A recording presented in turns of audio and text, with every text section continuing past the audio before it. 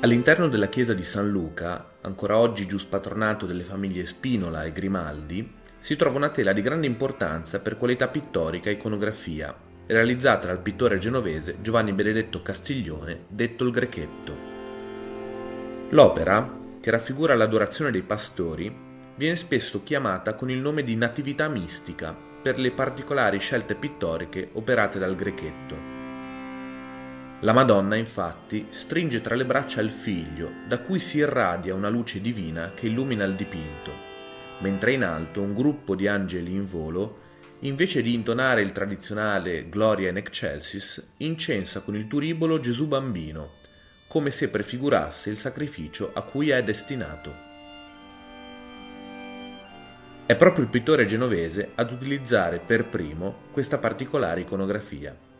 In basso a destra, invece, Grechetto inserisce un pastore dalle fattezze satiresche, che porta una corona di alloro sul capo, volendo forse simboleggiare in questa figura di limite la conciliazione tra il mondo pagano e quello cristiano al momento della nascita di Gesù Cristo.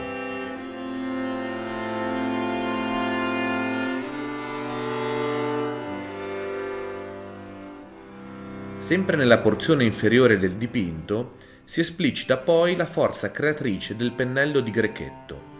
Il pelo del cane in primo piano, le piume del germano reale, la paglia e il terreno sono elementi di natura finti con abilità estrema e che emergono a mettere in relazione lo spazio illusorio del dipinto con quello reale dello spettatore. Firmata dal pittore e datata al 1645 su un frammento architettonico in basso a sinistra, Quest'opera di altissimo pregio appartiene alla produzione matura del Castiglione, che già giovanissimo si era recato a Roma, dove recepì i modelli della pittura dei grandi artisti del periodo barocco, da Caravaggio a Pietro da Cortona.